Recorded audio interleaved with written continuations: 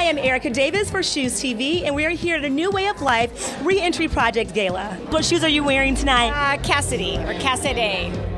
How do you pronounce them? However you want to pronounce it. Anyway, I love them, so yeah, that's that. Now, how did you get involved in tonight's project as a presenter?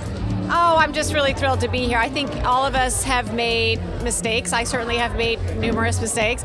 And um, there's a system with the court system and, and when you go to jail it's actually kind of easy to get caught up in. And so I really think these women and their children deserve a second chance. And so this organization is really vital to help them get back on their feet, help them try to find jobs, give them a clean slate. It, it's not as easy as you'd think. So it's really needed. So I think it's a really worthy cause.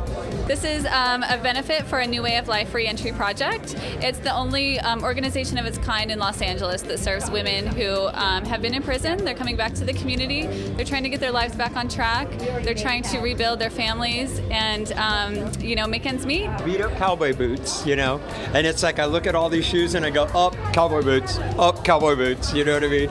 It's terrible, but what can I say? Can't And wait I to- keep buying shoes and I never wear them. What shoes are you wearing tonight? Huh? What shoes are you wearing tonight? Who knows? Just shoes that will cover my feet and help me stay, keep my bare feet off the ground.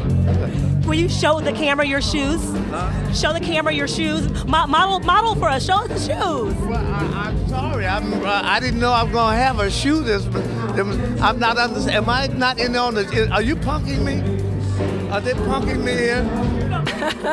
You guys always do that to me, and I always have to take the shoe off. Um, I don't know who I'm wearing.